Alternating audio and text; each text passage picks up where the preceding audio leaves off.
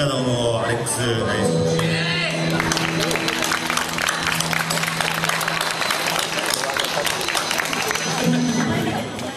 えっとですね、いつも僕たちは鹿児島の天文学校への近くにですね、えースピードキングというライブハウスがありまして、えっとそこで、えっとライブをやってます。えっとですね、11月の28日にですね、えー、とうちらも出ます、えー、と昔キーさんって人がいるみたいなんですけど屋敷祭りっていうのがあるみたいです。これがありますので天文館公園の太陽の近くですね。そこにありますので。僕の友達がですねあのなんか11月2日に、えー、とローリーさんっていうんですけどローリーさんを呼んでライブがあるみたいです。えーそこ僕の友達もいますので、えーぜひ、えー、とキャパで5ホールです。8回で11月の20日、えーローリー NHK のドラマに出たように侍に鹿児島の地元バンドもいますので、えーそこをよろしくお願いします。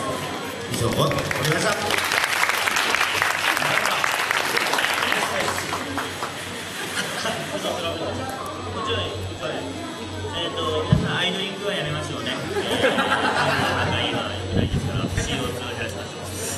CO2 を減らす運動としてため息を少し減らすようにしています。綺麗にまとめたつもりですが終わりました？終わってない。あすみません種息ついてしまいました。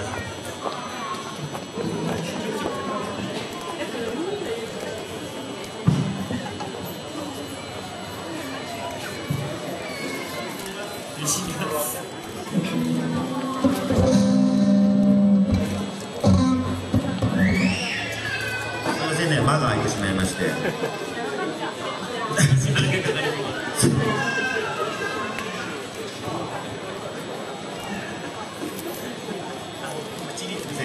さっきのやつですね、スターを持ってきてもらいましたけど、えー、とこのローリーさん、11月2日ですね、えー、とオルガニックアッシュというバンドが出ますので、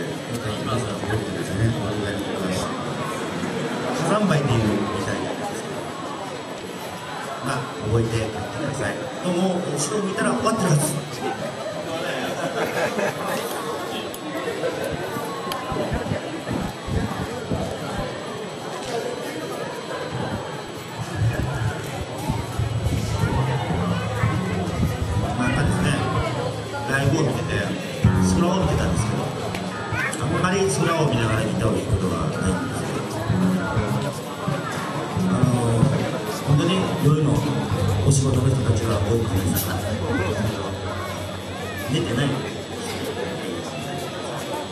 僕